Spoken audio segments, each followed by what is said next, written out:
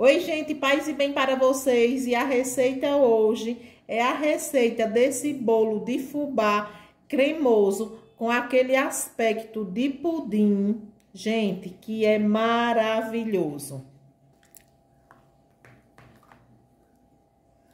Um bolo para ser degustado no café da manhã, no lanche da tarde, a qualquer horário, porque ele é maravilhoso. Ó.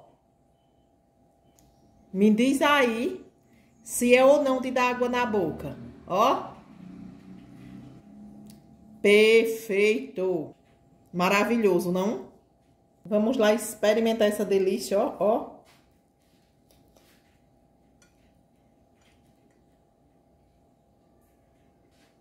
Gente do céu. Ele é maravilhoso. Ó. Se tivesse uma nota mais do que 10, eu daria. Esplendoroso o sabor. Vamos lá me acompanhar na preparação dessa delícia?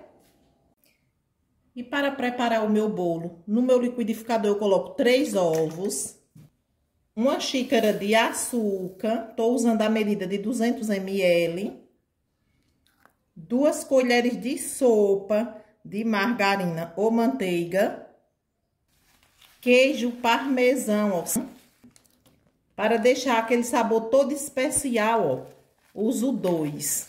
Se você gostar com um sabor menos acentuado, você coloca um pacote, 50 gramas, mas com 100 gramas te garanto que o sabor é top. Um litro de leite, estou usando leite de vaca, inclusive estou colocando com a nata.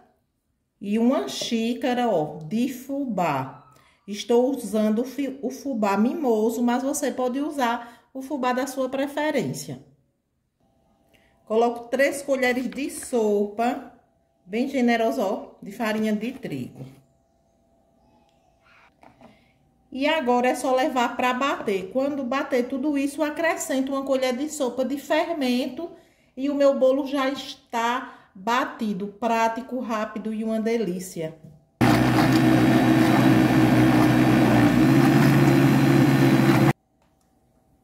Olha só, e fica assim, líquido mesmo.